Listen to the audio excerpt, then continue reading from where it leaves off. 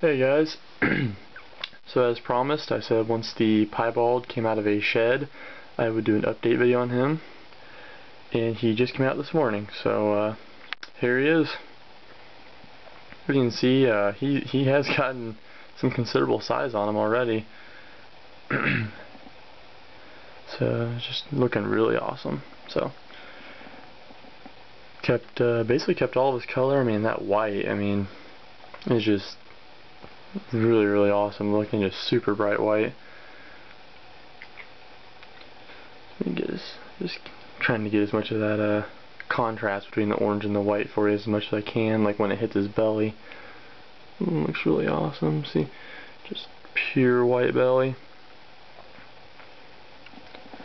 Get him down here on the floor.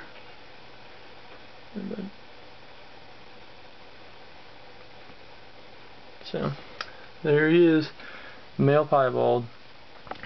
Uh, this guy came from JKobylkaReptiles.com. Justin is, I mean, he's he's definitely a really cool guy. I mean, if you're gonna buy from him, you're gonna have the best customer service, bar none. I I can vouch for him on that. I mean, majority of my snakes have came from Justin, and they all uh, eat amazing, and uh, the temperaments on them are very fine. I mean, they're just uh, great animals. So, also he's very, very prompt with answering questions for you. He'll help you out if you want to know what makes what, or if you got a snake that you're not sure about. He'll definitely take a look at it for you, even if it didn't come from him. He's uh, definitely an awesome dude. So, if he's watching this, I want to say thank you, Justin, for this guy. I think he's going to be a really awesome breeder for me. give me some nice pieds once I get him with my low white female. Look at that white.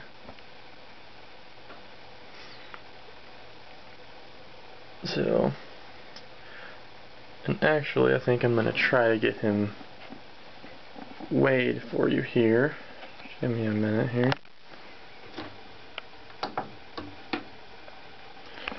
Let me get my scale turned on, so I haven't really ever weighed one for you, so we'll go ahead and weigh him, so I actually haven't weighed him for quite some time, so let's see what he's going here. Stand there, bud. 155 grams is what he's sitting at, so he's, uh, he's still pretty small, but, uh, he's definitely putting on weight. He wasn't that much when I got him here, so he's really filling out nice. I mean, I don't know if you guys can tell, but just just holding him and just his overall, just the just the feel of his body, he he's starting to starting to put on the weight. So, all right, well, there's the piebald ball python, fresh out of shed. Update on him thank you for watching. I hope this is what you guys wanted to see on him. And uh, let me know what you think. Alright, thank you for watching.